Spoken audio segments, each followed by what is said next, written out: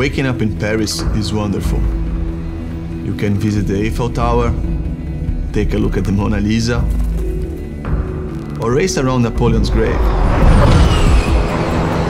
The circus is back in town.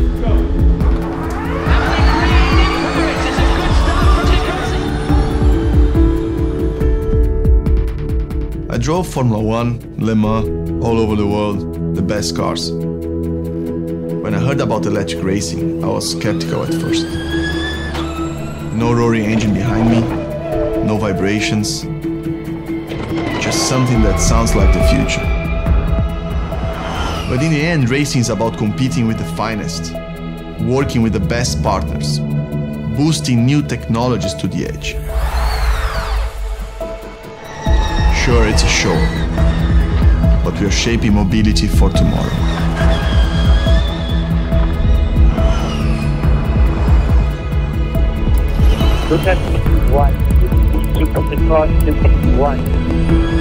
Here in Paris is where the world agreed to fight climate change, to use green energy, to think different. And that's what we're doing, making electric power more popular.